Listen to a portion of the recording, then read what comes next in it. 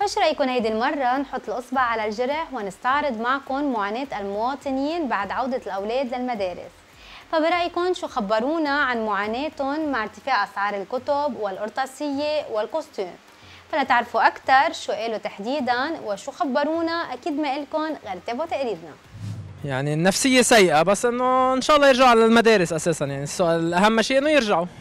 لأنه القعدة بالبيت something not good يعني. so so إن شاء الله يرجعوا. أه ما فتنا على القرطاسية بس على الكتب. أه مثلا بي أنا بنتي عمرها ثلاث سنين فهي already دغري فاتت على الأزمة على أسعار الأزمة. so ما قادر أعمل comparison بس أكيد منا أسعار آه، للكل.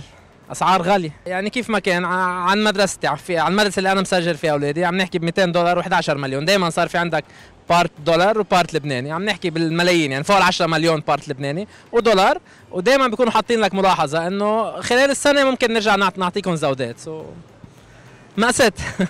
والله صعبة جدا. هلأ بنفس الوقت كله بالدولار بيحاسبوك على الدولار. ما بي يعني اللبناني ما حدا بيحاسبك فيه. كله بالسعر بالدولار صار. القرطاسية والكتب المريل كل شيء. كان الدولار ب 1005 هلأ ب 35000 يعني بالأول كان نفرض قصة أي مدرسة اللي كانت يعني كان تقريبا ما يقل عن مليونين ونص أو 3 مليون. هلأ 8 مليون و300 دولار كاش هاو لحالهم. أكترية أولادنا قاعدة بالبيت حتى ما رسمة ولا ولا علم ولا شيء كمان. يعني عن جد الأولاد يا حرام بالمرة السرق لإيش عم يعملوا فينا هيك ما بنعرف. بس المدارس بس الأكل بس الخبز المطعم من المي من كل شيء إيش في عنا؟ ما عنا بشي بالمرة. لك لحمة منا عم نجيب جيج منا عم نجيب ولا شيء بالمرة. يعني عن جد عم نقضي أيام كتير صعبة ووحشة كمان. اي والله يا خطيت هذا الجيل اللي طولع هلأ. رزق الله أيام زمان. رزق الله أيام زمان وأيام مدارس الحكومية والكتاب المدرسة ببلاش. والايديه كانت ببلاش. اليوم لا حدا معه حق ايديه ولا حدا معه حق كتب. وأكثر الناس ما حتحطت اولادها بالمدارس لأنه مواصلات كمان مشكلة كبيرة كثير وشغل ما فيه وفلوس ما فيه ما هي كرمالته نقلات والأقساط والكتب الكرتاسيه الناس ما معها ولا بقى حدا دين حدا. كان شوي بالأول البنوك تسلف. يعني هلأ ما بقى حدا عم يشتغل بشغلته. شوفير التاكسي صار عم يشتغل بالبلدية. وتاع البلدية صار عم يشتغل بالطيران. انقلبت الدنيا فوقاني تحتاني. الناس راسها قفل. والله أنا عندي أربع أولاد. أه، بصراحة ما عم درسهم لأنه ما قادر. عندي الثلاثة الكبار ما فيني درسهم وما قادر. من ثلاث سنين لهلأ ما قادر درسهم لأنه ما عندي إمكانية ولا عندي مادية. لحتى أقدر أدخلهم مدارس وأجار ميكرو مثلا وأجار مدرسة مثلا ما ما عندي مادية أنا. والله الأسعار عنا نار نار. أكثر من النار كتاب الجغرافيا مثلا. 14 دولار. يعني بدك تحسب حاله تقريبا شي حوالي 450 ألف باللبناني تقريبا. هيدا أقل كتاب كل الأسعار مرتفعة double أضعاف. يعني الله يساعد المعتر اللي ما قدر يلحق على كل شيء.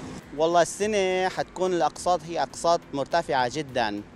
واللي عم يحكوه آه، مسألة المدارس جمعية المدارس آه، والإدارات على أنه آه، الأقساط قد تكون ببعض المدارس دولار. فللأسف نحن اللي عم نشهده بلبنان استغلال كبير من المعنيين وخصوصا أصحاب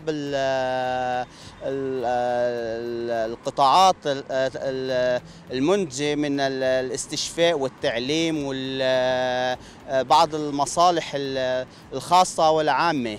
القرطاسية هي صراحة والكتب حسب ما عم نسمع من المعنيين من التجار ومن المحلات اللي هي عم تبيع هذا المجال من الكتب والدفاتر والقرطاسية عم يقولوا الأسعار هي أسعار جنونية لأنها بتعتمد أيضا على الدولار والدولار اليوم سوق سوداء يعني بيتعاطوا هو بعدة تداول من الأسعار.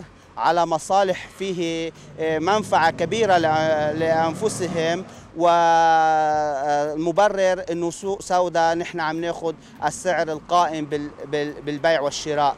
فهذا نحن بنقول آه، خافوا الله خافوا يوما يأتيكم فيه آه، لا فيه بيع ولا شراء إنما يوم فيه حساب وويلكم عند الله من هذا الحساب. إنه أكيد يعني بحكم الدولار وكل هالأوضاع اللي عم نمرق فيها أكيد في فرق كبير.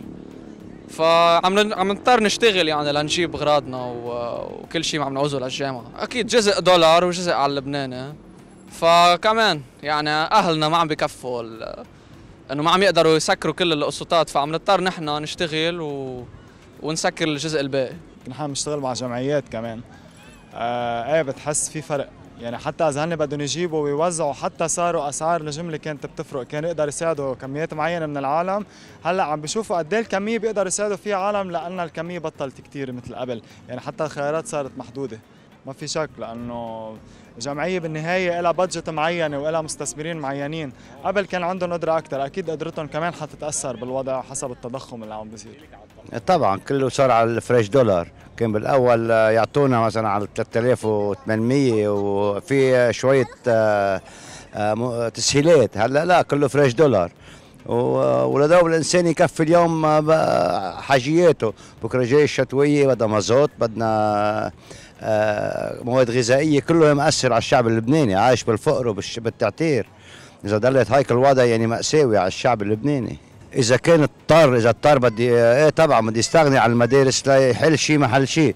إذا ما في مساعدات من برا مساعدات من جمعيات للأولاد وللأطفال وللجامعات إيه طبعا في ناس بتكون عاطلة عن عن المدارس والجامعات.